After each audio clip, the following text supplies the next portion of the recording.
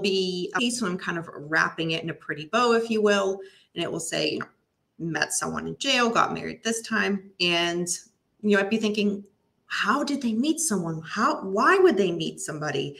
How did that happen? There's a lot to talk about. So I'm really excited to talk about this with you guys, but let's see quickly who's in the chat and yeah, we'll kind of get going. And as I'm going through this, kind of keep in mind some cases that you've heard of in the media, you know, true crime cases, because I'm going to ask at the end for some examples. And of course, there's the kind of more obvious examples, if you will. I mean, I, I, used Ted Bundy as the thumbnail because everybody knows how he drew so many women during his trial when he was on trial for such horrific acts.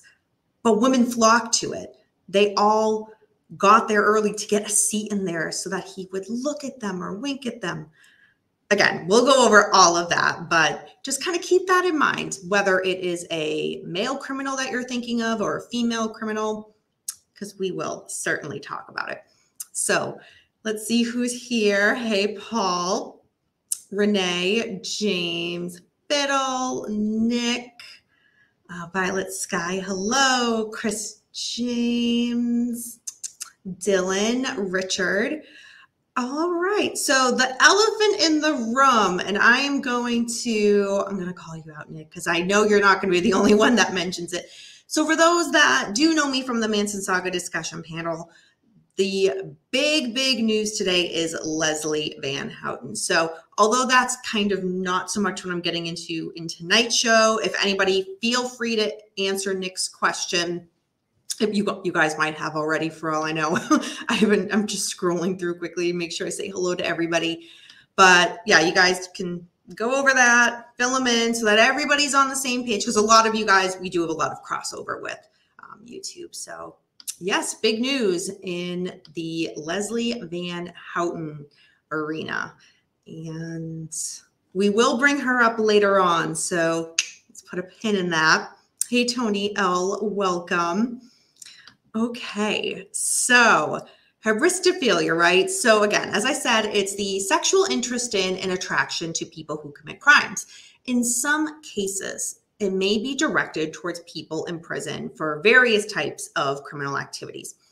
And what I will say is when I was researching this topic for the Manson Saga discussion panel, I only did like an in a nutshell over there, just kind of what made the most sense for that topic we were doing because there's just so much research done. We're here I can kind of deep dive more into it. And part of my research at the time, I say research, is there's so many websites for finding love for a prisoner.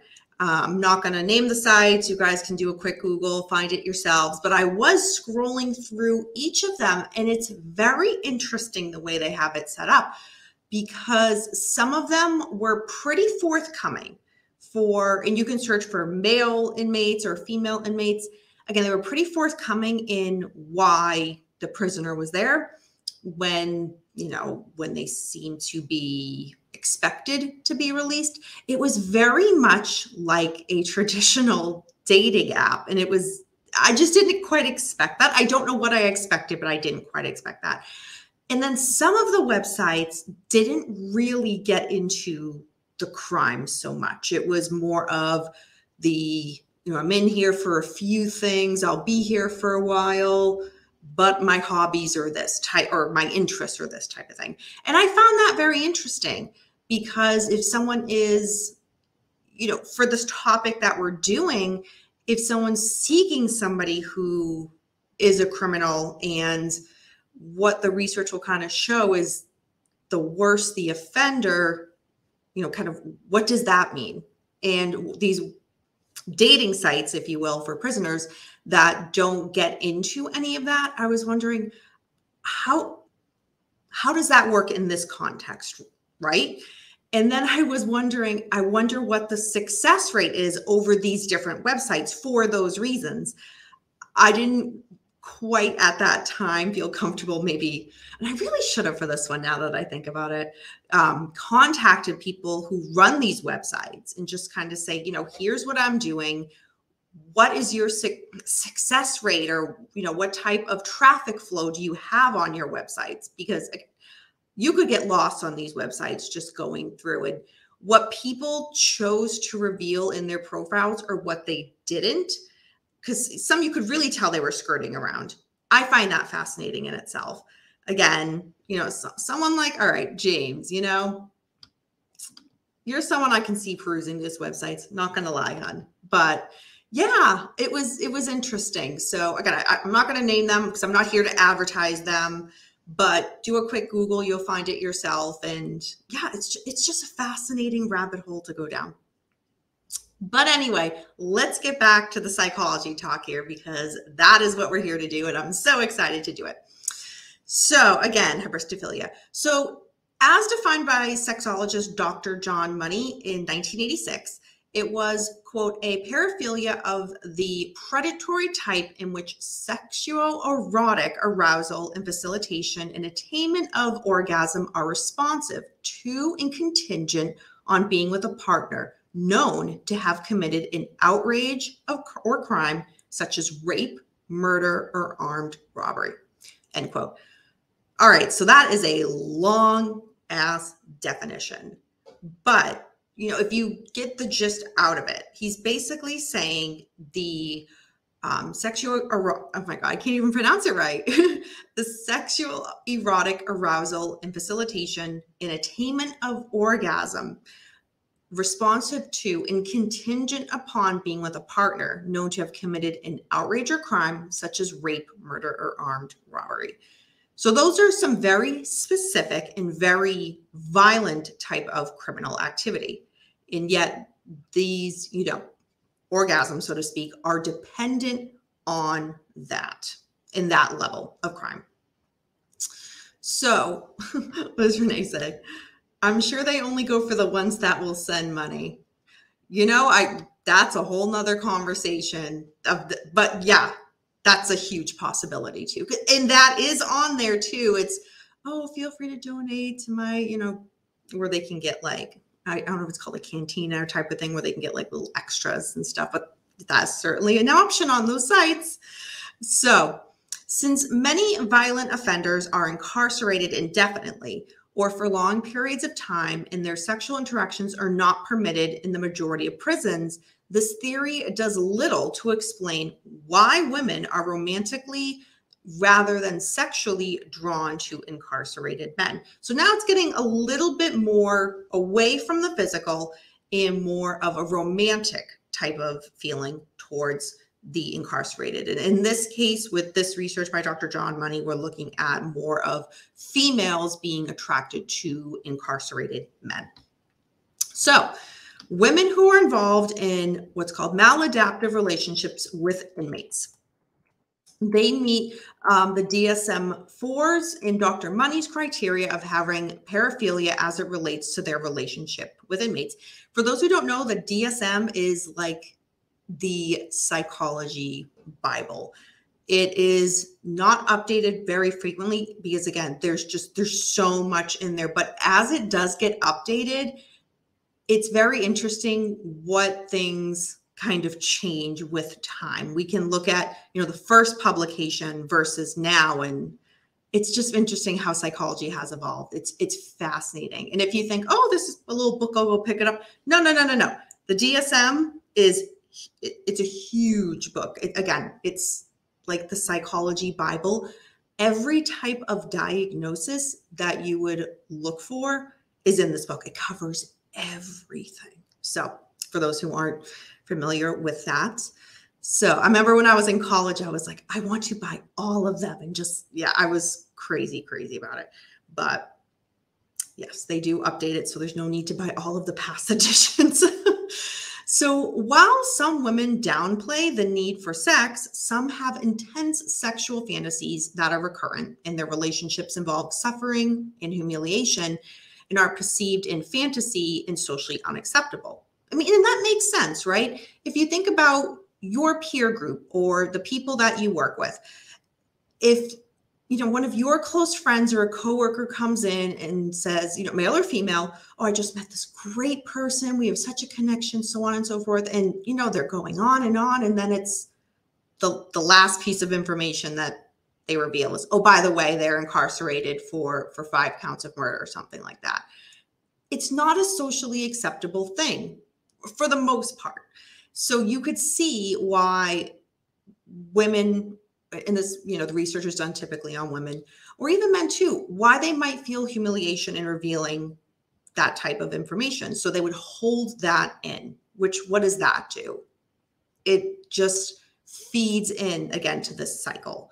But it makes a lot of sense why they have to keep this more hush hush because again it's not socially acceptable in most in most circumstances and you might say, wait a minute, there are some cases of what, you know, it's very public. You know, think of Star with Charles Manson or, you know, Richard Ramirez and all of the women that loved him, and Ted Bundy and Carole Ann Boone, who was who married him and was very vocal for him. So those aren't the norm. They your mind goes to them because they're the most common examples and the most talked about examples, but that's really not the norm. So just keep that in mind.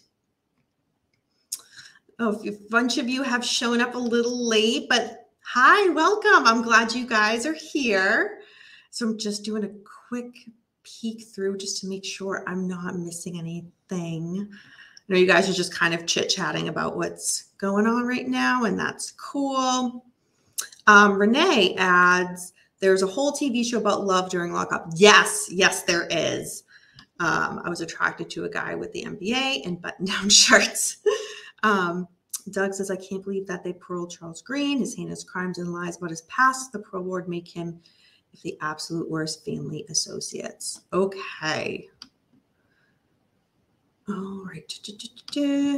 All right. So to jump back. So, since this definition um, that I've gone through, which is found throughout the literature preceding it, there have been other interpretations that have created a large variance within this topic. So, there seem to be four patterns that are identifiable in relation to the use of the term. The first is women who pursue romantic relationships with incarcerated offenders. The second is women who participate in and facilitate criminal behavior with a romantic partner. The third, women who are sexually attracted or sexually satisfied by partners participating in criminal behavior. And fourth, women who pursue relationships with and are sexually attracted to serial violent offenders, example, serial killers. So again, there's these four different type of patterns. And for me, when I was just researching, you know, just this list of four, I could think of examples of each one. And I'm sure we all could too. There's so much true crime and so many criminals that not everything fits into just one box or one pattern. So this makes a lot of sense.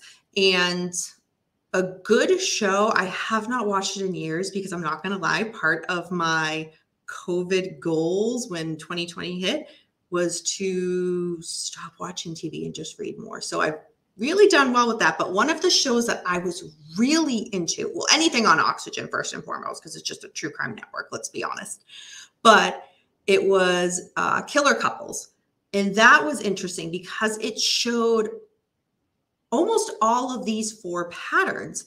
And it would, for those who aren't familiar, it would follow, well, obviously, killer couples. So a couple and in some of the cases the woman was just really trying to you know please her partner because she you know didn't want to lose him and this was what he was into um, or maybe you know they were both into this type of thing but then once they found each other it was just the right toxic meetup that now they could explore this fantasy of theirs together again there was so many different examples of these types of patterns that I just went through. So if you guys haven't seen that show, I would say eh, check it out. It's great. Again, I've done really good with giving up TV since COVID, so I'm going to try to stick to that. But that's a great show that I would say gives a lot of great true cases about these examples. All right, it looks like Mr. Beckham is lost and showed up. Hello. So Chris James says, "Are there men who go for female prisoners besides James Watson?" Yes, there are. There actually are, and we'll get to that at the end when I kind of go over the list of examples I have. But again, keep that in mind because I will ask for examples from everybody. Ella says Richard Ramirez was a hottie, but his murders and rapes did not make him hotter. I wish he wasn't evil. I wish he was Richie who worked at AutoZone or something. Very interesting. And thank you for being honest about that. I think it's it's a fine line, right? Because I mean, I've been accused too, just being having this platform that I have of almost, you know, in some cases glorifying. And I hate that term because that's if it comes off that way, that's certainly not my approach. But I also believe in giving credit where credit is due. And what I mean by that, so before people say, wait a minute, wait a minute, hold on.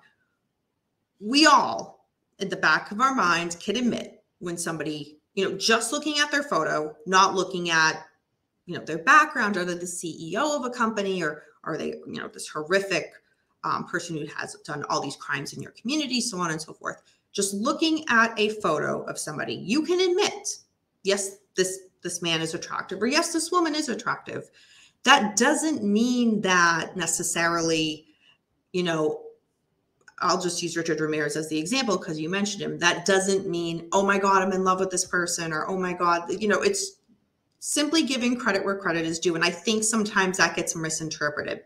With that being said, there are, and we will go through this research here where, because you give what you said, Ella, was really, really good. I'm going to put it back up because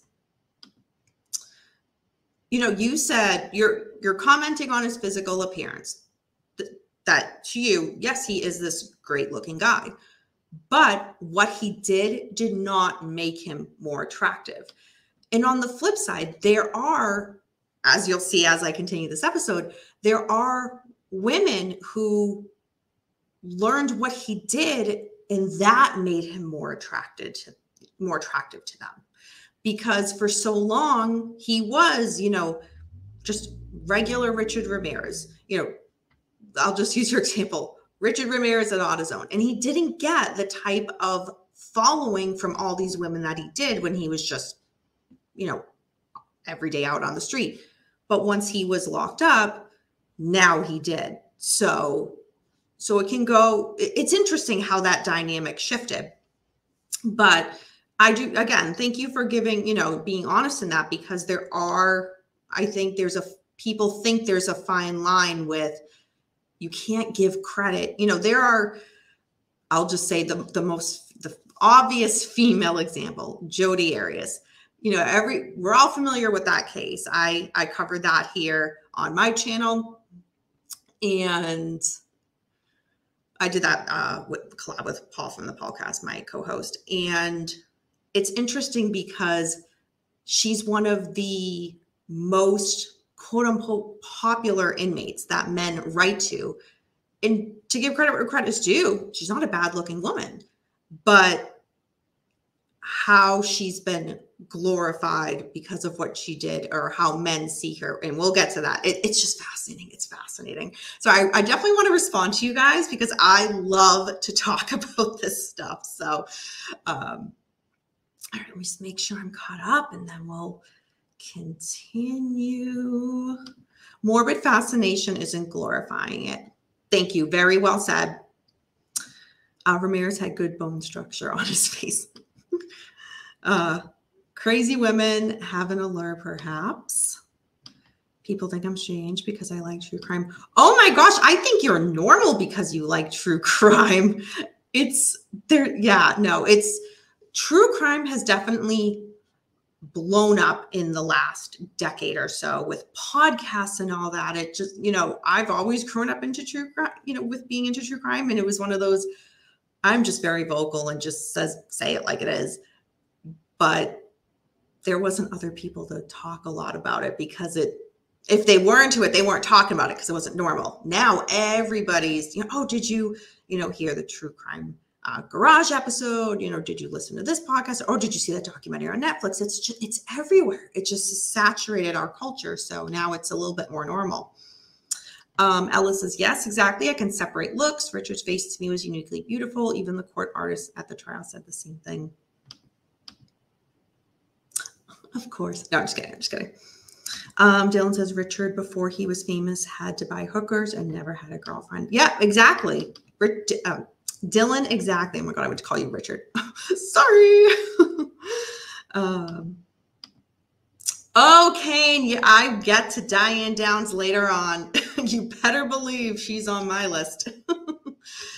uh, Jodi's okay looking. I think more guys are fascinated by your sex habits. James, you know what? You wouldn't be wrong. You would not be wrong in that.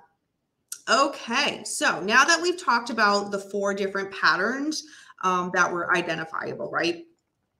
So we get in now into uh, Sheila Isenberg's research. Out of all of the research that I have reviewed from all these um, um, researchers or authors, I have to say I most gravitate towards Sheila Isenberg. So if this topic is something that's interesting to you, check out Sheila Isenberg. I'm just giving a sort of in a nutshell. I did read through all of the research that I could find online, and it's so fascinating. So, again, if you're into this, do yourself a service. And I actually, in the description bar, will be linking all of the authors that I uh, looked more into for this episode to give credit where credit is due to these great researchers. If there's any of them in particular when you're going back that you want to know more of or find fascinating, it'll all be in the description um, down bar. So, anyway, now that I've mentioned that, I meant to say at the beginning and I totally forgot. So, so Sheila Isenberg, her observation was that women in love with prisoners view their relationships as something special, as quote unquote true love, which is deep, romantic, and full of passion. These women could be so attracted to extreme male dominance and aggression that they actually have chosen aggressive men who had the potential to become delinquent and convicted of a crime in the future. So that's very interesting, right? Another explanation could be that the women are only able to endure their difficult situation if they really love their partners deeply and without any doubts. In Isenberg's 1991 research, it offered a number of reasons on why women would seek incarcerated men as partners. So, take a quick sip. Okay. So, these include the ideas that one, some women seek partners who need caretaking. And in their relationship, they, be, they become that man's link to the outside world in order to foster a sense of dependency. Makes a lot of sense. Two, some women are consciously or even unconsciously creating patterns of relationships that they experienced in childhood and they seek out men who resemble their fathers. We see that with research over and over again. So that makes a lot of sense. Number three, some women simply want to suffer and choose this type of relationship knowing they will be subjected to ridicule, stigmatization, and economic hardship. That one is a little tougher for me to fully wrap my head around. It does, that one did not make as much sense to me. In a lot of the examples and kind of more deep dive research, there, there's not as much to me that I found that kind of backs that up. But it's still, again, done with the 1991 research that she did. So it's certainly worth mentioning. And number four, some women are attracted to men whose crimes made them famous, example, serial killers, and are drawn to the notoriety the relationship will bring them over any affection obtained from the relationship. That hits the nail on the head for so much. That explains so much of, as we just talked about, you know, the Richard Ramirez's, the Ted Bundys, those who are attracted to, you know, Jodi Arias. One of you guys mentioned Diane Downs. Again, I'll repeat that because it's really worth repeating. So the fourth idea in Isenberg's 1991 research, Some women are attracted to men whose crimes made them famous, example serial killers, and are drawn to the notoriety that the relationship will bring them over any affection obtained from the actual relationship. So let me just, all right. So I'm going to do a quick pause there and just kind of double check where you guys are in the chat. I think that to me, that research of hers was the most fascinating. And I'm like, spot on, spot on, spot on. Number three, I didn't quite, quite agree with that. But again, that's what her research showed. So that's what we're going with. Let's see. Okay. Oh, Violet, that's we are certainly talking about that later. um, criminals are a big turn off to me, but my daughter seems to have a real taste for shit with felons. oh my gosh, that is so interesting. Uh, da, da, da, the reason some women like bad criminals is evolutionary. It goes back thousands of years, and women would pick the biggest, baddest man because he could protect her and her offspring. James, very good point. I'm not going to point out the fact that you you're a lot older, so you were probably alive during that time, but that's okay. That's okay. We don't we don't need to we don't need to do that. yes, yes, thank you.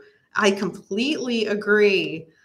This anything psychology, I am I am so down to talk about with you guys. So all right. So we just went over those four different types of of woman, right?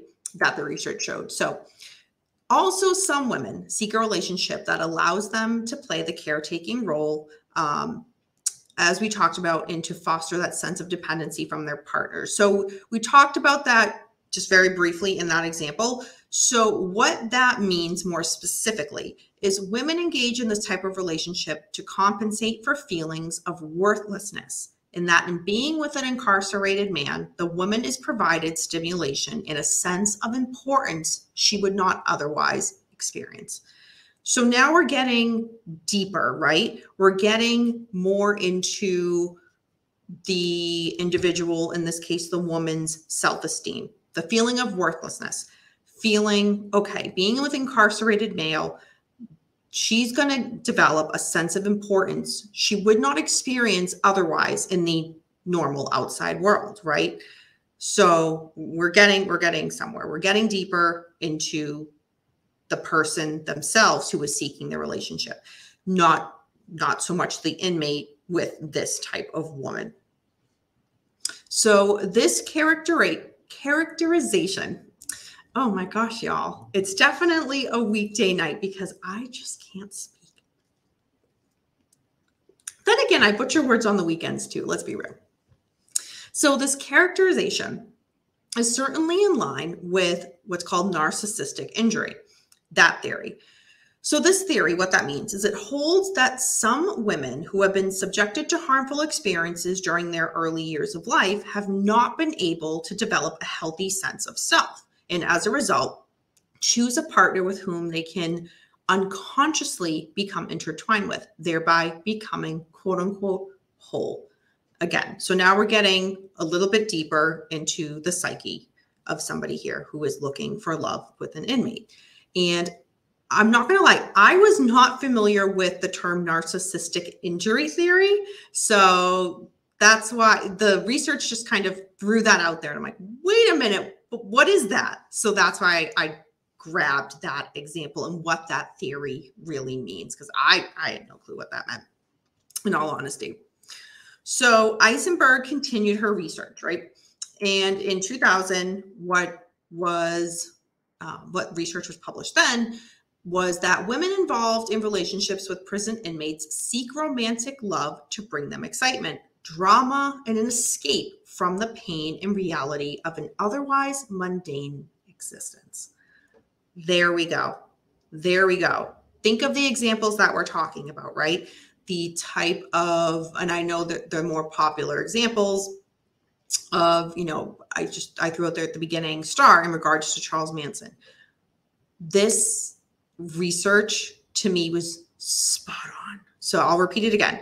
So, women involved in relationships with prison inmates seek romantic love to bring them excitement, drama, and an escape from the pain and reality of an otherwise mundane existence. You're not going to have just your basic everyday life if you're, you know, just dating John Smith who lives next door, right?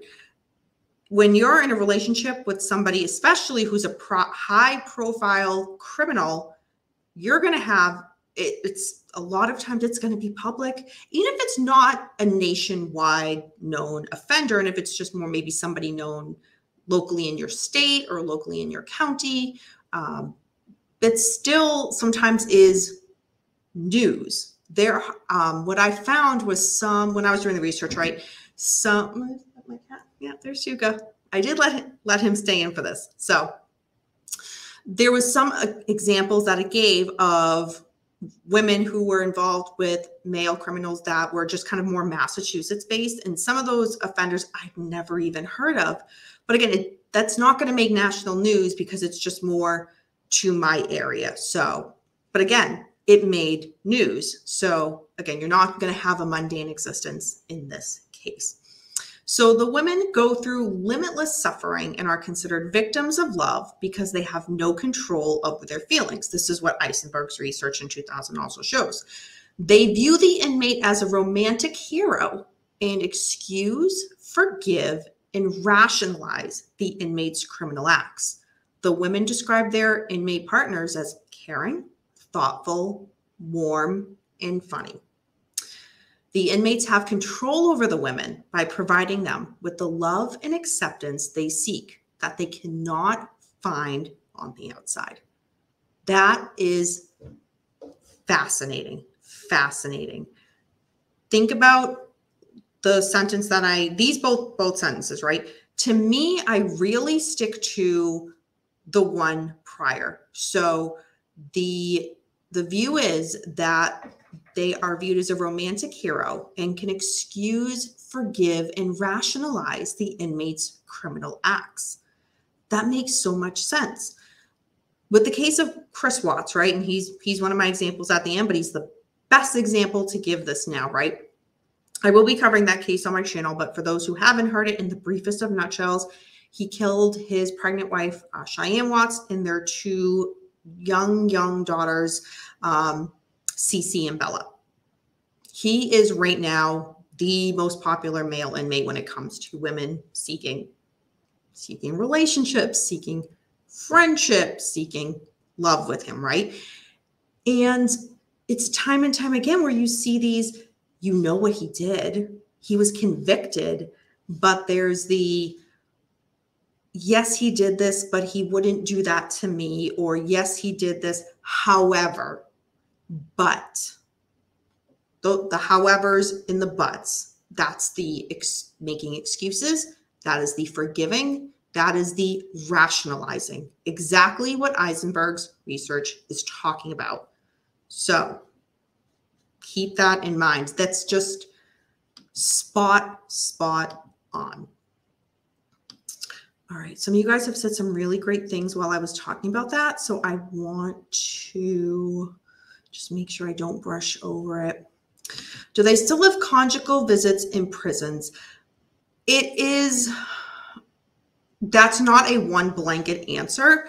I would say it's not only state by state dependent, but county by county. So I would, if you're interested in a specific area, like, is it is it okay where I live? You can look that up and find that, but there's no one blanket answer for for example, for the United States, it's it varies, um, as well as in other countries, it varies. So, um, yeah, it's hard to answer that. We know what happened in regards to California with you know Tex Watson having four kids, and then that got stopped. But again, we know even if you find the let's say you, you you look up in your state and your state overall says there are no conjugal visits allowed is it happening in reality yeah it is you know are guards looking the other way are they paid off it happens. So we just have to keep that in mind too. But but good question. Beckham just talking randomly. James says people may be into dating uh, prison dating prisons for the same way people online date, no real commitment. Great point. That's a great, great point. Let's see your cat. I know, I know, but he knew if he stayed, if he was in here when I started, then he, he was going to be in here for the duration. So he'll be fine. He'll be fine. Um, let's see. Okay. So now we jump to what is the social exchange theory. So very excited to talk about this. So, this theory proposes that we enter into a relationship with another when we perceive, oh my God, that was so Boston. when we perceive the benefits of doing so outweigh the costs. So, what does that mean? The applications of this theory to romantic relationships with an incarcerated partner were apparent in the research. So, for example, right, if a woman desires a relationship that allows her a great deal of power and control. That involves to her limited physical contact, and that comes without the constraints of family or that allows her to appear selfless in giving towards someone in a lower position than herself. In a relationship with an incarcerated man may hold many of these benefits. So, again, there's going to be that area of power. I am helping somebody who is, I hate to say lower in the rankings, but research says a lower position than herself or himself, right? And I'm helping, I'm caring, I'm all of these wonderful qualities towards this person who does not have any of these things. They may not have other family, any other friends you know what what is somebody who's incarcerated missing? Now i'm stepping in and i'm providing all of that. I'm helping somebody who's in a lower position. It's like on the one hand you could see think about it we went back earlier right towards there's the if i talk about this the same example i might there's humiliation i might suffer because it's not normal but in here, the person, same example, right, is thinking, I might get attributed all these wonderful qualities because I'm now in a relationship with somebody who needs something, who needs me, who needs this, who needs this, because they don't have any of these other things. I'm there to help. So it's it's different how the research has shown. Same, If we're looking at the same example, one does might not want to talk about it because of the sense of humiliation that they're going to get because it's not a societal norm and the other one thinks i'm going to get all these wonderful attributes these great attributes for my relationship with this person because i'm doing wonderful things for them it's interesting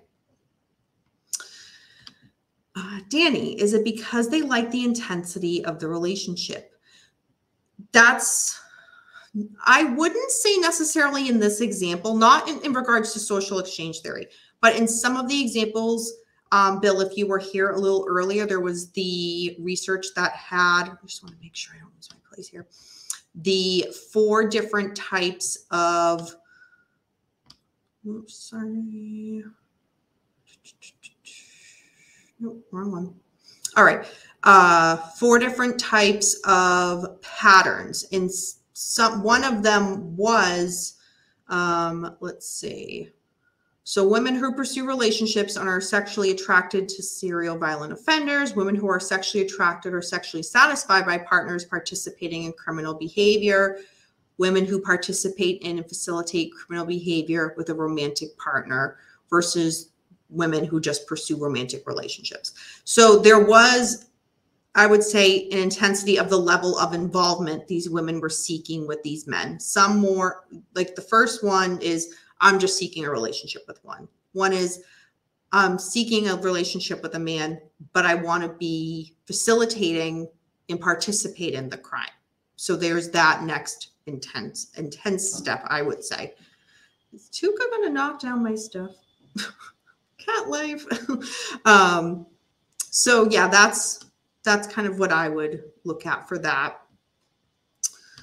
Women like fixing bums.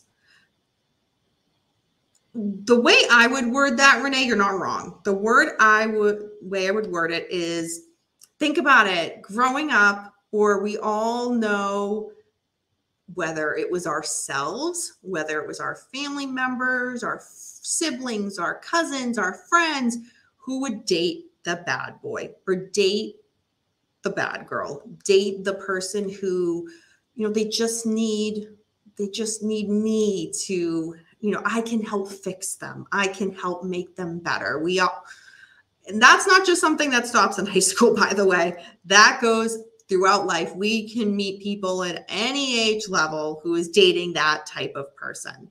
So that is a wonderful, wonderful example. Uh, someone in Dani's closet is going, yeah, no kidding. Um, if I were in prison, or at least I can touch you. okay. So we just went over social exchange theory. So a little bit more. Again, there was a decent amount of research done on this topic, which I was pleasantly surprised. I think I just wish there was so much more. so, oh, hey, Charlie16, welcome.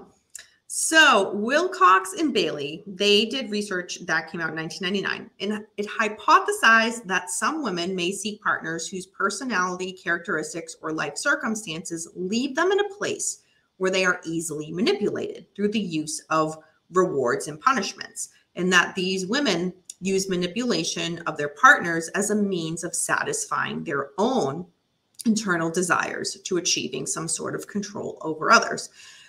So, the way the definition started, it kind of, to me, made it sound like okay, are these women who are seeking male inmates, are they the ones being manipulated? Kind of seemed like it started to go that way. And it's like, no, no, no, wait a minute. These women are using manipulation of the partners that they're seeking, these male inmates, as a means of satisfying their own internal desires and achieving some sort of control over others. And it makes sense, right? You're seeking somebody who is in an extremely limited capacity. So you're going to have so much more control over over them makes a lot of sense. So it's easy to see that someone who's looking for that type of dominant type relationship, this would be the perfect setup, right? You're controlling quite a bit. So, a look into the backgrounds and upbringing of women who become involved in relationships with prison inmates. This is the good stuff. So before somebody jumps in and says, wait a minute, wait a minute, this is just a general overview of what previous research has has said. So does every individual example that we can think of or talk about, you know, for example, the women who went after Richard Ramirez or Ted Bundy, does all of these women fall under these particular categories? Not necessarily but this is just the in a nutshell what was and there's tuka scratching the futon in protest. Tuka cat mom life y'all. All right. So in general what the research has shown women who become involved with incarcerated men may have previously been in problematic marriages and experienced alcoholism drug abuse violence infidelity and sexual deviance within their own family unit. Some women had a history of emotional, physical, and sexual abuse and became involved with violent criminals as they are guaranteed safety within a relationship with an inmate, as generally physical contact is restricted. As we talked about, some prisons do not allow conjugal visits. And they can communicate by phone and mail ensuring that she will not be hurt again. Quote, unlike in their childhood, these women can control the relationship with men in prison. They decide when to visit and when to walk away. End quote. That makes a lot of us, I want to say two words at once. that makes a lot of sense. It's putting the woman in a position of power where she thinks she's in a position of power. Again, where she thinks she's in a position of power. But based on some of these past criteria, makes a lot of sense, right? Thank you for stopping back in. If you didn't already like the video, Paul, at least do something right. If I were Dani, I would not be turning my back on that cat. Oh no, he's my he's like he's just a giant fluff ball, fluff ball of love, so he's fine.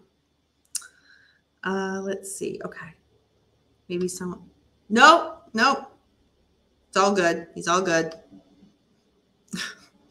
Cat life. all right. So, so what is the evidence from from this, right? So the evidence that was provided to validate the theory that women who come from abusive and dysfunctional families may tend to choose inappropriate relationships with prison inmates because they feel safe from abuse, they have poor self-esteem, and they want to rebel against their family. Think about some of the examples. I know I'm going back to you know the example of Star with Charles Manson, right? Because you know, society speaking, Charles Manson has been defined by the media as the most evil of that evil can be. And now you're the person who's going to date him. Think of how that would be perceived by family, by friends, by coworkers. Think of that example, that research right here, right? They want to rebel against family. That's the ultimate way to rebel. Mom, look who I'm dating, type of thing, right? I'm not getting into, you know, I don't know Star's background um, in regards to, and I don't want to dive into, okay, that's a lie. I don't want to dive into someone specifically and start analyzing them per se. You know, it's one thing to give the example, but to then take an individual like that and say, "Oh, well, this, this, this," and then that's a that's too much, and that's not what we're doing. So, I just want to say that. So, any examples that I'm giving are just more general examples of the person, not so much. Let's get into their history of trauma and abuse growing up, and so on and so forth. We're not doing that. So, we are getting there, folks. Again, a lot of research on this. So um, I think it is a power trip or a martyr issue. That's exactly what one of the theories is saying. Yeah, it's putting these, again, the research was on women, putting these women in a position of power.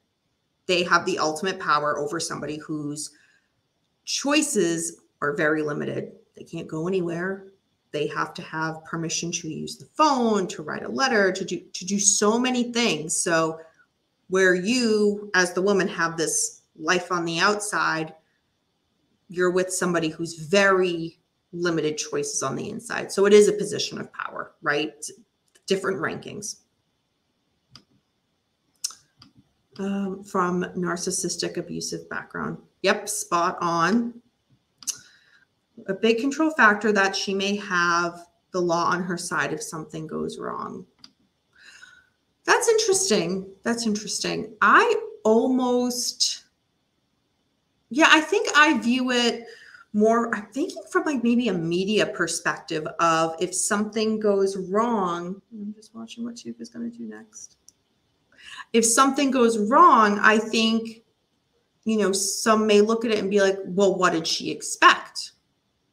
Type of, not necessarily, I guess not necessarily that prison guards or a judge or you know the courts would think that necessarily but i think a lot of society might think what did what well what did she expect going with someone like him you know type of thing they have a fear of abandonment mm-hmm.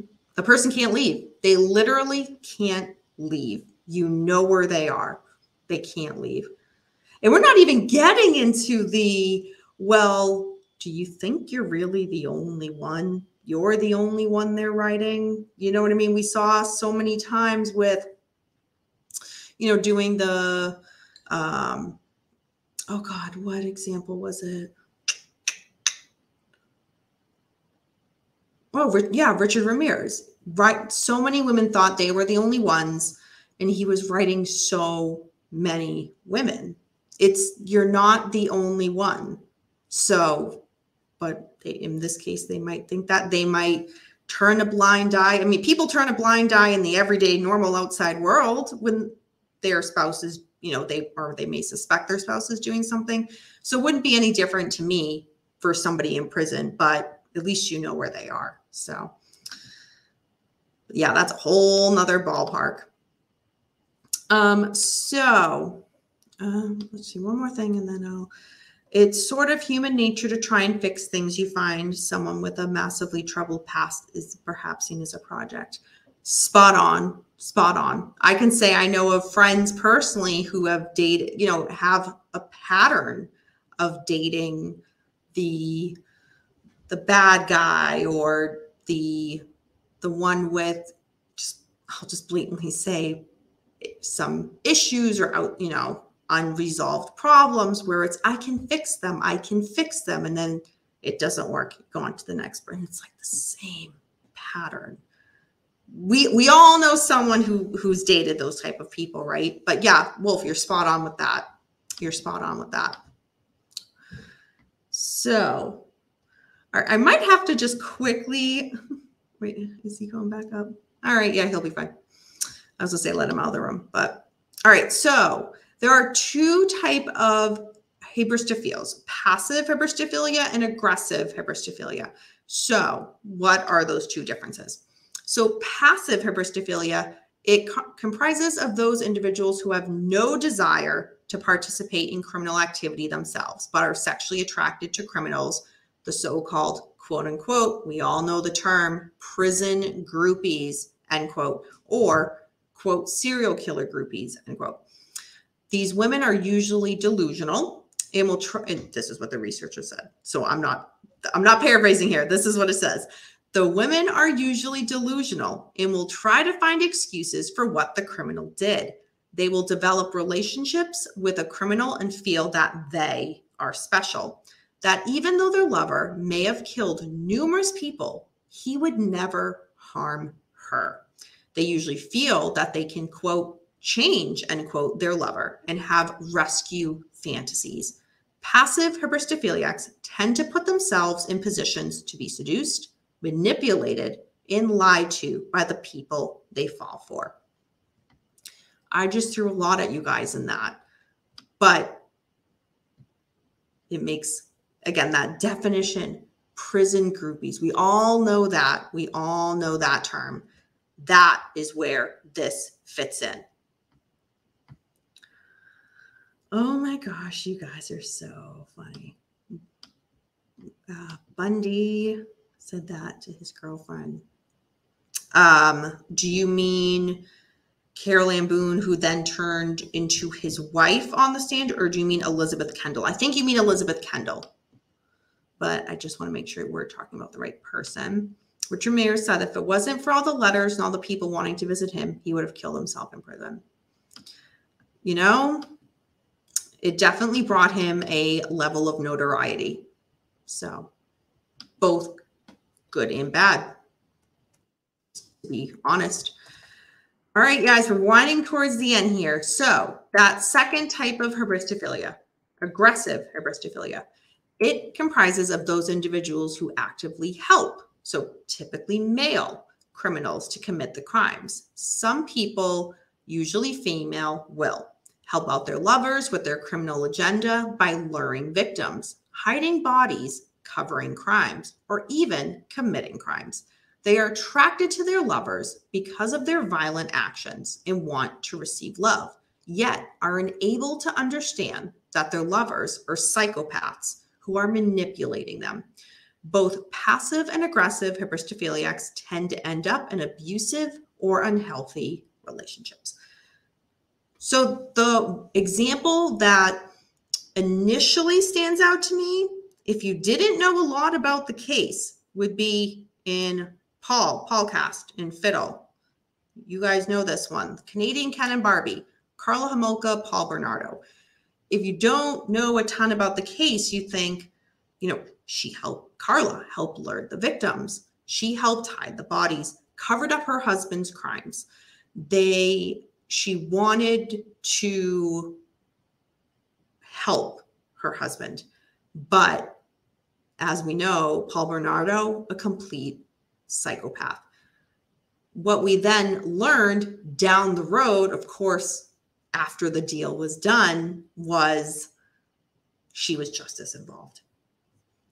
If you missed that episode, I did that. I covered Karla Homolka, Paul Bernardo, and Dani After Dark. So check that out. But I think if you, again, if you just know a little bit about the case, you think, I would think, wow, that's a perfect example. But then there's more layers to, okay, no, Karla was really just as involved. But this makes a lot of sense. So, okay, you guys, that is the research that I have. Oh my gosh, almost an hour. That's awesome. So, I just threw a lot of information at you guys. When I say I went through so much research for this, you know, the and I really enjoyed reading research research papers. It's been quite a while in regards to, you know, a lot of these were college level or people who, you know, who are doing research through different universities where they work and so on and so forth. So to read, it's like, here's the study. Here are, you know, control group A, control group B, and, you know, how are these, you know, everything about the research project. I read through all of it and then just to be like, all right, so what how can I take 20 pages of research from this one person and condense it for you guys in a, a way that, okay, this is easy to understand type of thing. So again, if anybody wants to deep dive more into any of this, there are some great researchers that I mentioned. I put the um, names of the studies, the authors in the description bar. So definitely check that out. So who says I'm not fiddle? I missed what that's referring to. Dani, I love your top. Oh, thank you. So, okay, I threw a lot of information at you guys, but I asked you at the beginning to think of examples. I think as the show has gone on, you guys were great in bringing those up where you saw it was relevant, right? So we talked about already Richard Ramirez, Ted Bundy, the, the classics, right? Scott Peterson was the the guy that so many women were writing to in jail until along came Chris Watts. That in that part of it, you know, there are similarities with them. They both killed their pregnant spouses. The difference is Chris Watts also killed his two young daughters. And it's interesting that women can overlook that. And I know with with Chris Watts, it's a little different with Scott Peterson because with Scott Peterson, there's still this whole is he a very big divide of people that think he's innocent and people who think he's guilty. I've really not met anybody or come across anybody that is, gee, I'm not really sure. There seems to be, yes, he did it or no, he didn't. and large side, large groups of people on each side. With Chris Watts, it's a little bit different. He avoided trial. So that he did it. And then he tried to, you know, spin it on it, you know, Shanann, his wife, and you know, that I was she was harming the kids. And I all that shit. We'll get into that when I cover that case, but it's very interesting that as a woman to see, for example, just someone like Chris Watts and think, well, I know he did this to his pregnant wife and to his two daughters, but he wouldn't do that to me. Or, oh, I, I bet there was a reason. I don't know. You know, we have the research in a lot of the research that I read through today, obviously each of those part of when a research project is presented, there's uh, a section where it says, you know, what information or what research need to be needs to be done in the future based off this. And, you know, of course, it would say, you know, more needs to be done in regards to X, Y, and Z. It doesn't get into there hasn't been a lot recently in regards to I would want to know yes, we know that women or excuses are being made, but I'd want more of a deep dive into instead of this group of okay, there's out of 100 women, 80 who percent who fall in love with a killer are making those excuses. Well, we have a bit of technically speaking why, but I want that research to even get more narrower. I want to know more. That's just me personally. So, research idea for anybody in graduate school who happens to see this. That's what I'd be, be very, very interested in. So, no one was chasing Bernie Madoff. Um, women chase Scott Peterson because he looked like Ben Affleck. All women have a Batman fetish. And there's something to say that, you know, because, you know, when an attractive individual, okay. So there's a theory called um, like the the halo, the halo effect, the halo, halo theory, right? And it is where there's a good, a, good looking, attractive person and we associate all of these great qualities to them automatically because of that. Um, you know, based on their looks, they're attractive. They must be, they must be hardworking. They must be kind. They must be general. Like all these qualities, we've never even met the person, but we're going to attribute it to them because they're a good-looking individual. We expect more. We think that they automatically have these great qualities. In reality, they might not have any of them.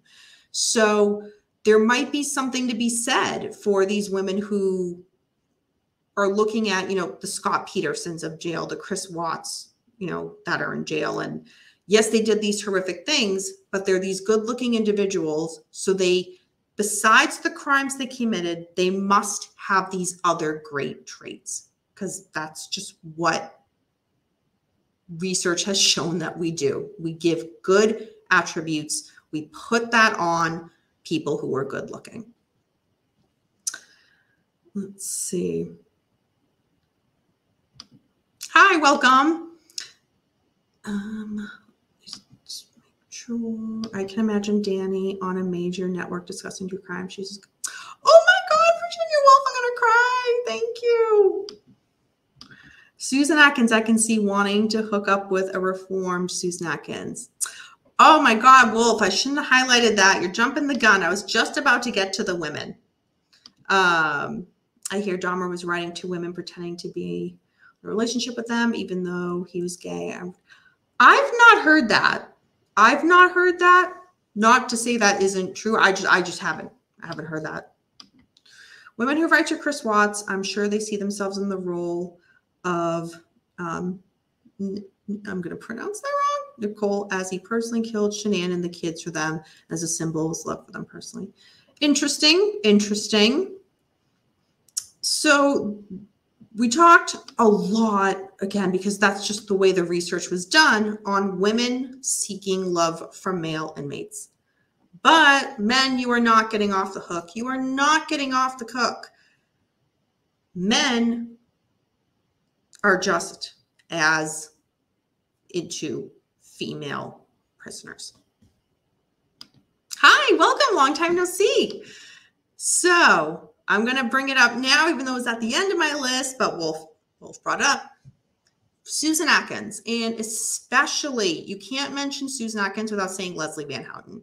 So, for anybody again who doesn't know me from the Manson Saga discussion panel over on the podcast, where it's just the Manson case and we discuss that, there has there's such a fascination with Leslie Van Houten. And again, there was big breaking news about Leslie Van Houten today in regards to parole and parole eligibility. We're, we're not getting into that here, but check it out if that's, you know, if you want to learn more about that, that just broke today. So Leslie Van Houten, parole and her parole eligibility. So look that up. But there's so much interest in Leslie and so much interest in Susan. Susan's, you know, she's now deceased, but think of how many times she's been married. And, you know, we've all seen pictures of her with her with her with her husbands and so on and so forth. and heard about the conjugal visits that she had, would she, you know, I would she have had the type of men that were into her in prison be into her on the on the outside? Probably not. I'll just so be bold and say that probably not. Some people might disagree and say, well, yeah, she probably could have attracted them on the outside. Maybe I disagree, but I tend to see a lot of, again, giving credit where credit is due. You know, Dylan, Dylan right there. Leslie was hot in my opinion. Yeah, credit where credit is due. She was a very attractive girl. And that is just in the research about her as well. You know, she was very beautiful back in her, you know, high school days and so on and so forth. And yet, you know, she is where she is now. So Leslie was the prettiest, but she sounded so dumb. Well, you know, women can't always be both things, but good thing I'm both smart and beautiful. Subscribe to Dani After Dark if you're not already. Okay. All right. All right. Who the hell cares, Bill? Who the hell cares? Yeah, see, Leslie back in the day was a hottie. Yep. She was certainly, she was absolutely attractive back then. So somebody mentioned earlier, I did not forget you. I'm blinking who mentioned it. Uh, Diane Downs, right? And you can't mention Diane Downs without mentioning Susan Smith, not just because of the crimes that they did were pretty much similar in murdering or Susan was successful. Diane was successful in, in murdering one and um, permanently injuring two of her children. For I covered both of these on my channel, so go back, Diane Down, Susan Smith, if you are not familiar with it.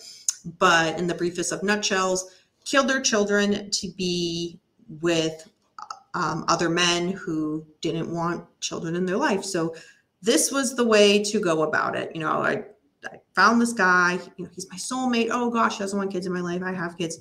I'll off the kids to be with them.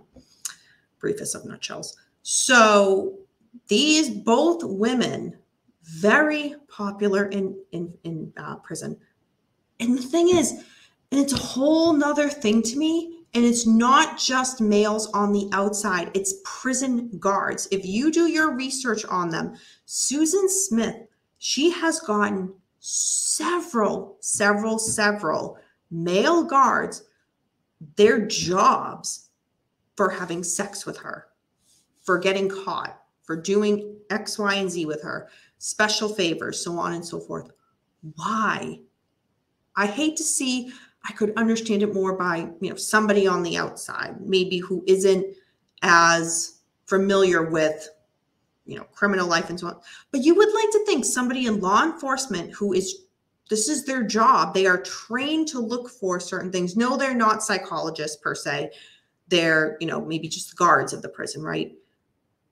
But they still make these choices with these women. Or on the flip side, um, female oh gosh i'm blanking her name. That that female uh, case that we had remember she was a guard and she helped her prison boyfriend escape and then they were on the run. She ended up committing suicide. He was supposed to kill himself if they were going to get caught but then he turned himself in. Oh my gosh it was like a nationwide case. I'm, i can picture her and him, but I'm blanking. And then they got caught because he wanted to take the car to a car wash and he showed up on camera. And like you can hear the audio footage from the vehicle where she's like, I, I knew we shouldn't have gone to the car wash. Oh my gosh. Um, yeah, that blonde chick, Ella. Yes, I, I can picture her right now. And I'm blanking her name.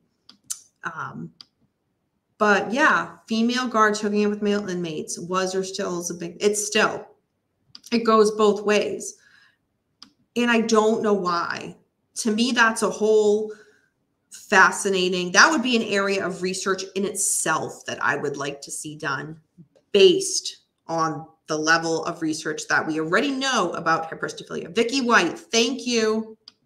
Thank you, Ella. Yes, that's it. And that's a recent case. That just happened.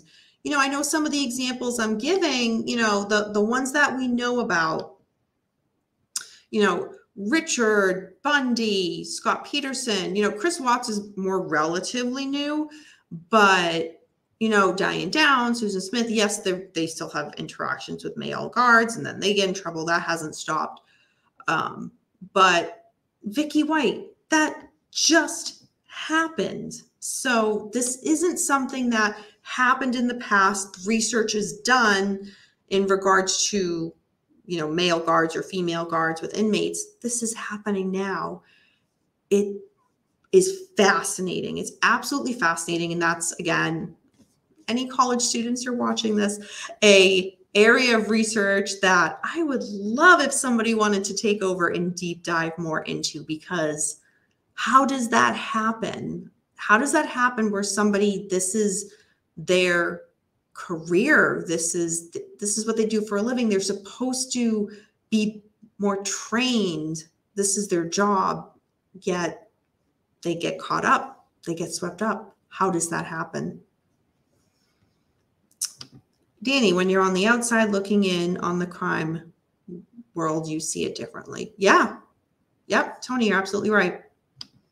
They made a movie about one lady helped him escape through a pipe under the prison. I don't know what movie you're referring to offhand. Do a quick Google search. This is so common. Thank you, James. Yeah. Yeah, exactly. Surprised there isn't more Epstein deaths in prison. Oh my gosh. I mean, yeah, and that's a whole yes, he did it. No, he didn't. I mean, oh my gosh. Vicky White and Casey White. Yep. And then the last name was by no relation. Uh, the Alabama prison guard and the dangerous inmate who she helped escape spoke on the phone overnight. Yes, thank thank you, Bill. Thank you for getting all that extra information. You think Maxwell gets love letters. You know, it's a woman who had had so much money and power. I guarantee there's men writing to her. I guarantee it. I mean, why why would they not? Think about it. Alex Murdaugh, he has a ton of women writing to him. I just covered that on one of um my recent uh, true crime and chills because that was you know updated information and on on him you know again and he's sentenced he was found guilty of murdering his wife and one of his adult kids. And yet yet he's very popular with the ladies. I don't get it. And you know in regards to giving credit where credit is due credit is not due in his case. I'm looking at i look at his picture i'm like i don't get it. I don't I don't get it. Besides the the wealth and everything, I don't get it. But that sounds like Shawshank Redemption. Uh, let's see. Uh, Rachel was a prison guard. Only hire guards with. Oh my God, James. oh Jesus. Epstein faked his death and the guards helped him escape. Uh, that, you know, like that's, I have heard that theory. I have heard that theory, but all right, you guys. So I hope you guys enjoyed this episode. This was some, again, psychology stuff. I'm, I love, love talking about it with you guys. And if you want to hear more about this in regards to specifically the Manson case, I did do an episode with uh, my co host Paul and Mr. Beckham over on the Paulcast Manson Saga discussion panel. We, and again, I didn't get this much in depth with research that I don't think the guys would have, they would have fallen asleep. but ta- taking what what was relevant to that case and then discussing it with the people involved with the whole Manson family and their, you know, their spouses and so on and so forth. I did that over there. So check that out if this is something that you want to hear made specifically to a certain case. And while you're there, and if you haven't seen any of the episodes, there's so many, so many episodes that we did if you're into the Manson case. So go over there, check it out, like those videos, so on and so forth. Other than that, you guys, thank you so much for joining me for tonight's episode. And thank you for, again, pleasing the nerdy side of me that just loves to talk psychology. And thank you so much for being so interactive and involved with this. Not, you know, I did think, I'm like, you know, I could just talk about the research and people could say, okay, okay, I'm here because it's a place to hang out. Or, but you guys really got involved in it. So it really genuinely makes me so happy. So thank you for that, for having this dialogue with you guys. And yeah, it was so much fun. I will be doing a true crime and chill later this week. Um, based on my schedule this weekend, I'm not sure what night that will be. So as soon as I know, I will throw up a uh, throw up something on YouTube with when the event will be. So stay tuned for that. Other than that, everybody, I hope you have a wonderful night and a great rest of your week. And until next time, remember, we don't live in darkness. Darkness lives in us.